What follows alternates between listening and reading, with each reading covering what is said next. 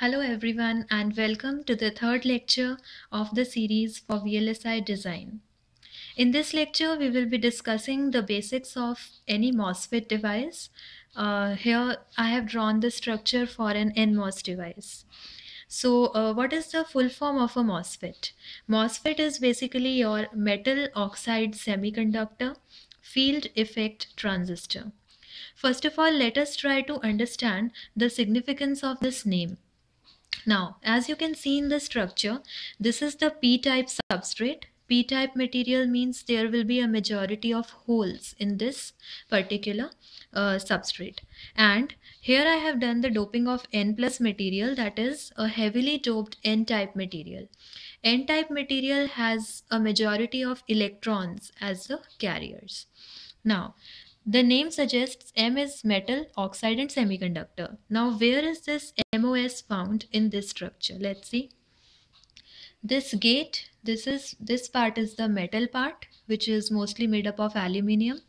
This is our silicon dioxide so it is an oxide layer and this part is your p-type substrate which is basically silicon. So this is your semiconductor material. So this particular part forms the MOS structure in any MOSFET so metal oxide semiconductor the significance of the name is clear from here. Now what is field effect transistor?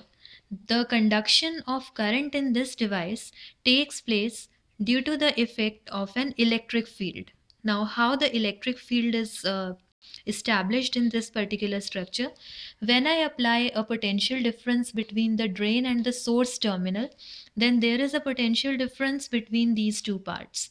And this establishes an electric field in this circuit due to which a current is flowing in the circuit.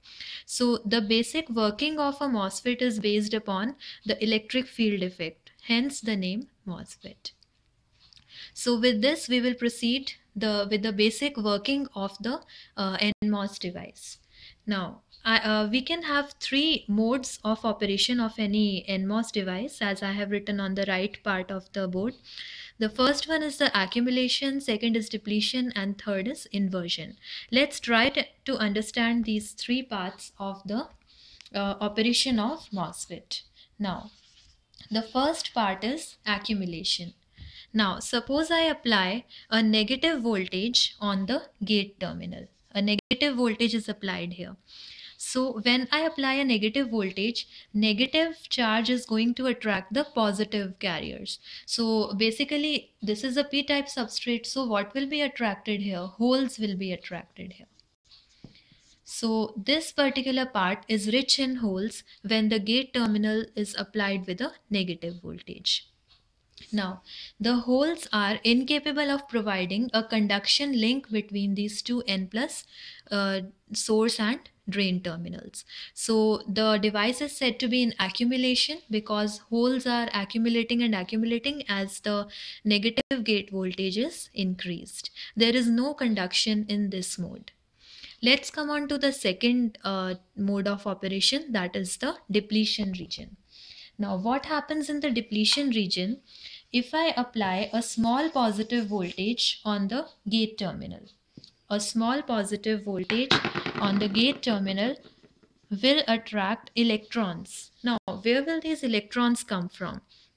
We know p-type substrate will have electrons as the minority charge carriers. So a few electrons will be attracted here and since this uh, this this part of the substrate was already having some holes. Some holes were already present. And now a few electrons have also come. So both the holes and electrons recombine.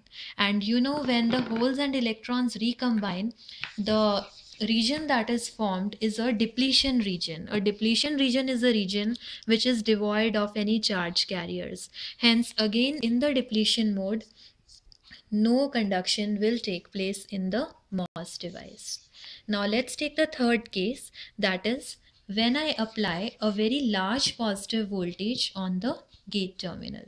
When a large positive gate voltage is applied, what happens? More and more electrons are drawn in from the p-type substrate and after depletion, we have extra electrons also to help in the conduction process. So the source and drain get a path for conduction through these electrons and hence this conduction path is established and a drain current is established in the MOS device. So this is your last mode that is the inversion mode.